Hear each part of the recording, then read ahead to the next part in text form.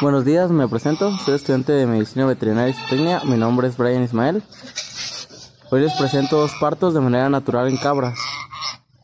Después de la gestación de 155 días, viene el parto. Como vemos en la primera cabra, ya está la cabeza del cabrito fuera del canal de parto y en este caso viene con dos membranas fetales o bolsas.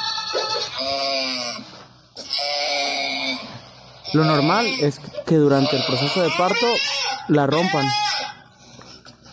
En este caso fue necesario ayudar a quitarle la membrana de la nariz para que de lo contrario no muera por falta de oxígeno.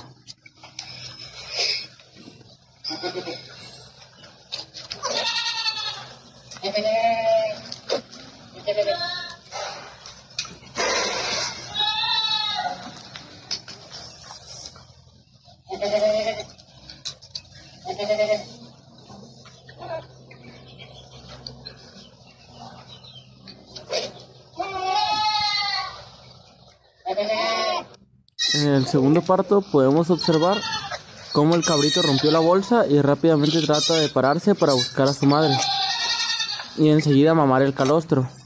En este caso no fue necesario ayudarlo con la, con la placenta. El cabrito pudo romper la...